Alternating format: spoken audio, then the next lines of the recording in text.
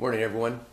It's Saturday, May 18th, and it's time to draw a winner for book giveaway number two, Captain Sullenberger's autobiography, Highest Duty.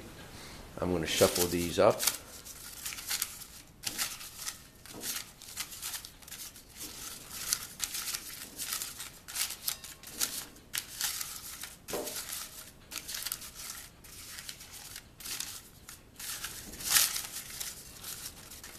And pick one out.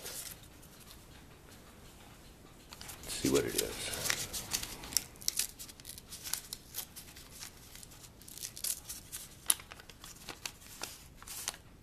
Uh, it's Donnie Boy 73.